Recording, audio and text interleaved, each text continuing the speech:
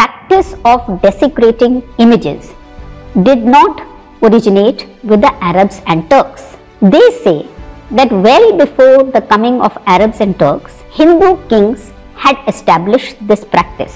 That means, according to them, Hindu kings used to desecrate and destroy images that were sacred to their rivals of their own faith.